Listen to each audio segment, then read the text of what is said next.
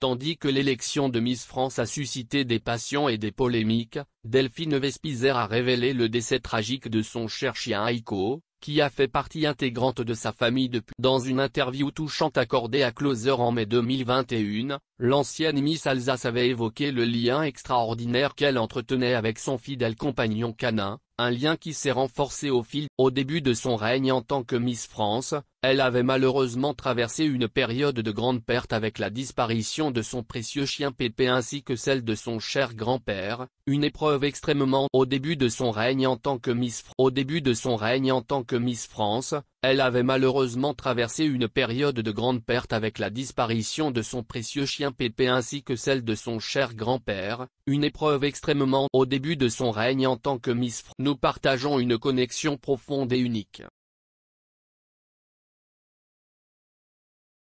Nous sommes constamment à l'écoute l'un de l'autre, communiquant sans avoir besoin de mots, simplement en savourant chaque instant passé ensemble, en harmonie parfaite. Pour cet adorable et imposant chien blanc, Delphine Vespizer était prête à faire tous les sacrifices nécessaires.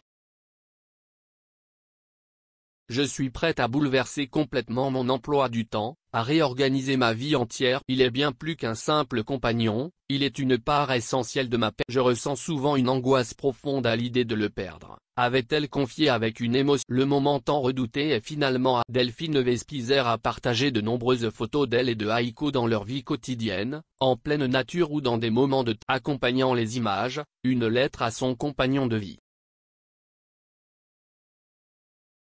Mon amour, tout était absolument parfait commence-t-elle, avant de faire une déclaration extrêmement touchante à Aiko dans un long texte où elle évoque leur lien. Tu étais ma passion, ma priorité absolue, mon refuge, mon plaisir infini, mon tout, mon bébé adoré, mon prolongement de moi-même. Tu étais le seul être capable de me calmer et je suis convaincu que tu ne voyais que moi.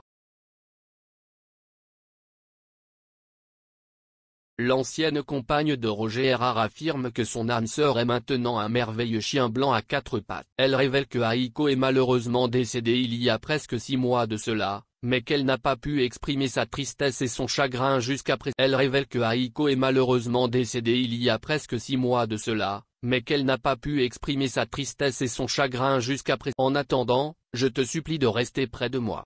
Je t'aime énormément. En légende de sa publication, la talentueuse interprète de Blanche et Rouge dans Boyard cite les paroles d'une autre chanson douloureuse, Alter Ego de Jean-Louis Aubert. Tu es parti, mon cher ami.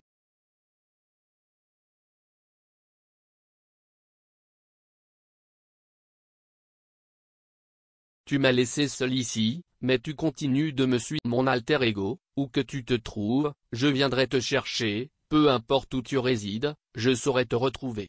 Ces paroles incroyablement bouleversantes ont touché le cœur de ses abonnés et de tous les amours. Une publication partagée par Delphine Vespizer